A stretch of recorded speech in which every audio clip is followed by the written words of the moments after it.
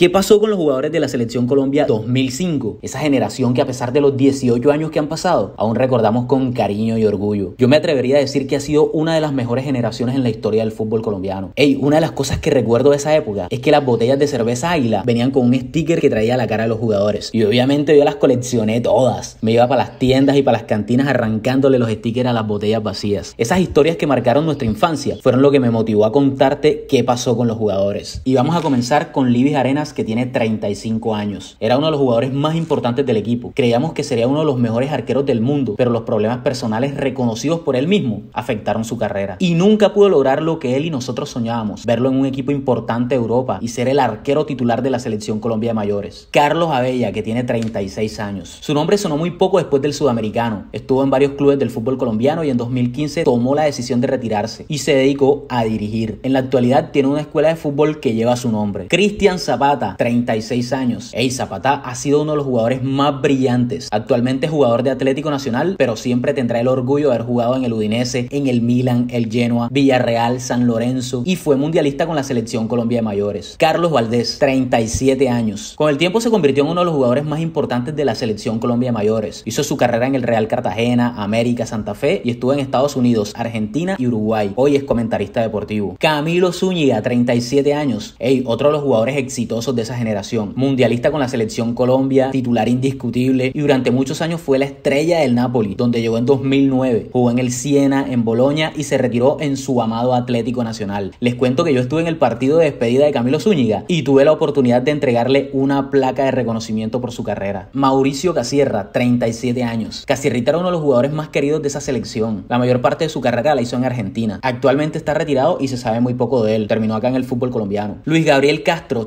36 años. Otro de los jugadores que poco se supo después del sudamericano. Tomó la nacionalidad de Honduras y actualmente es jugador del Parrilla One del mismo país. Harrison Morales, 36 años, uno de los jugadores importantes de esta selección. Jugó en Centauros, Preso Rojo, Deportes Quindío y su último equipo fue el Boca Juniors de Gali. Edwin Valencia, 37 años. Otro jugadorazo que triunfó en su carrera después del sudamericano. Desde el 2007 hasta el 2016 estuvo en Brasil, donde jugó con Atlético Paranaense, Fluminense y Santos. Y se retiró en su Atlético Nacional. Harrison Otálvaro, 36 años. Otálvaro también fue importantísimo en esa selección del 2005. Estuvo en Ucrania, Argentina, Perú, Qatar y en Colombia estuvo en el Cali, el Cúcuta, Millonarios Nacional, Tolima, Real Cartagena, Huila y Once Caldas. Aún es jugador activo, pero está sin equipo y se dedica al entrenamiento funcional. Abel Aguilar, imposible olvidarse de Abelito. Era el capitán del equipo y el que más hablaba, el que defendía a sus compañeros y era una muralla en la mitad del campo. Después del sudamericano tuvo una carrera exitosa que le permitió estar en Italia, cinco clubes de España, Francia,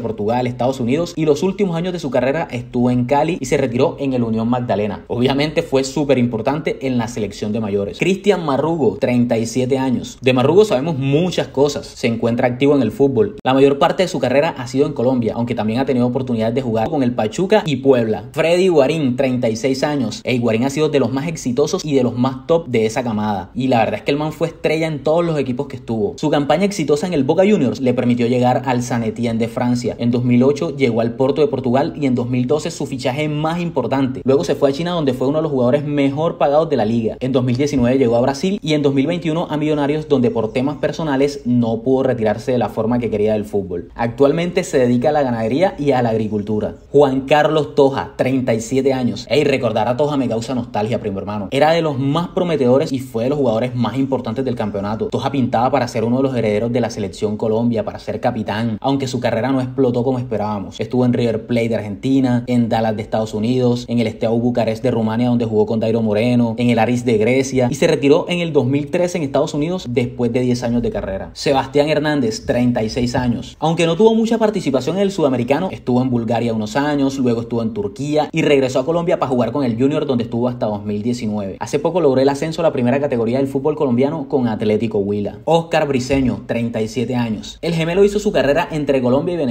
Ya está retirado del fútbol y su último club fue el Deportivo Pasto. Watson Rentería, 37 años. Ey, el viejo Watson pintaba para ser una de las grandes estrellas del fútbol colombiano. Y por supuesto, uno de los delanteros más importantes de la selección. Ey, el man era un goleador. Comenzó en el Boyacá, estuvo en Internacional de Brasil, en Porto de Portugal, en el Estrasburgo de Francia, en Atlético Mineiro, en Santos, donde jugó con Neymar, primo hermano, en Racing de Argentina. Y acá en Colombia estuvo en un montón de equipos, en Millonarios, Equidad, Once Caldas. Y en 2017 tomó la decisión de retirarse en el Guaraní de Brasil. Dairo Moreno, 37 años. A nivel futbolístico le ha ido súper bien, aunque su carrera se ha visto manchada por temas personales y su presunto gusto por el alcohol. Aún así, es el tercer goleador histórico de Colombia, actualmente jugador de Once Caldas. Falcao García, 36 años. ¿Qué podemos decir de Falcao cuando todo ya está claro? Solamente voy a mencionar un par de cosas. El Tigre hizo parte del 11 ideal de la FIFA en 2012 y es el máximo goleador de la selección Colombia con 36 goles. Y finalizamos con Huguito Rodallega, 37 años. Quise dejar a Rodallega de último porque fue el mejor jugador del campeonato. Y en ese momento hubo muchas estrellas como un tal Lionel Messi, no sé si de pronto lo conocen, un tal Diego Godín, un tal Matías Fernández, un man y que un agüero, tal vez lo conozcan, ¿eh? pero Rodallega, el pelado de las trencitas en el pelo, al que la camiseta y la pantaloneta le quedaban grandotas, fue el mejor del campeonato. Y después de eso pensamos que Rodallega sería uno de los mejores futbolistas del mundo y la verdad tenía todo para lograrlo, primo hermano. Aunque tampoco podemos decir que fracasó, porque después del Quindío llegó al Atlas de México, a Monterrey, a Necaxa